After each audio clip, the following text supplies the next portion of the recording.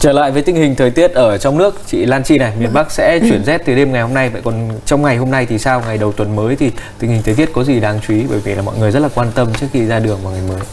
Vâng, à, trong sáng ngày hôm nay thì do ảnh hưởng của gió đông nam ẩm nên là khu vực đông bắc bộ nhiều nơi vẫn có sương mù, à, thậm chí là ở vùng à, đồng bằng hay là ven biển thì còn có mưa nhỏ mưa phùn nữa và trời khá lạnh.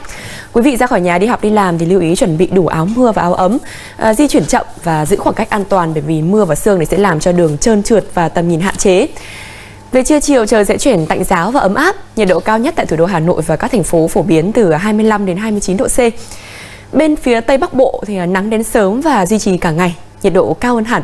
Hòa Bình, Lào Cai hay là Sơn La, Điện Biên Phủ 29 đến 33 độ C.